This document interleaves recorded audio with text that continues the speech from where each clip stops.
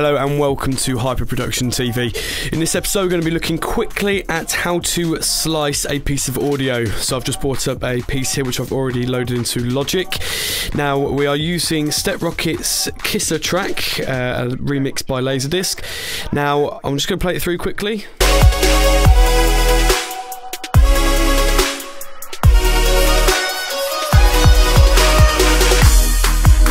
Now I just want to quickly splice it just at that point there. So what I'm going to do, I'm going to click here where the cursor is, go down to the scissors tool, and then I'm just going to drag it and it's going to snap to the bit where that comes in. Then I'm going to click back on my cursor, delete that, click on that. And there you go, there's a quick easy tutorial. Don't forget to subscribe and comment below with any questions. Thank you for watching.